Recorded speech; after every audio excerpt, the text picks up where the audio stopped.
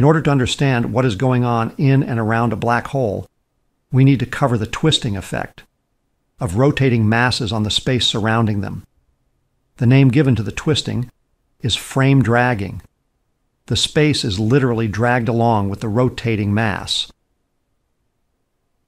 The effect was derived in 1918 by physicists Josef Lense and Hans Thirring. It is known as the Lense-Thirring effect.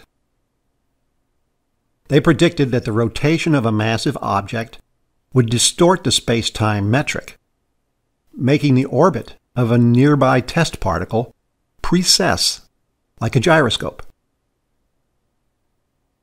This does not happen with Newtonian gravity, where the gravitational field of a body depends only on its mass, not on its rotation. It wasn't until 1963 that a mathematician named Roy Kerr discovered the significantly more complicated metric for rotating bodies that made it possible to calculate the precession one can expect from a given mass and rotation of an object, like the Earth.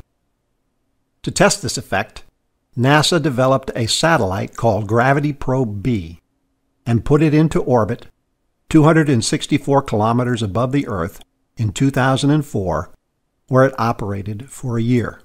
It used a set of super sensitive gyroscopes to measure precession due to frame dragging.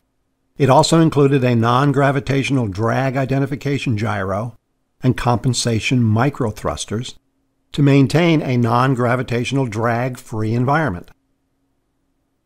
It compensated for solar radiation drag and atmospheric disturbances drag. By 2011, data analysis had confirmed that frame dragging did occur and measured it to within 15% of the amount predicted by the Kerr metric for Einstein's field equations.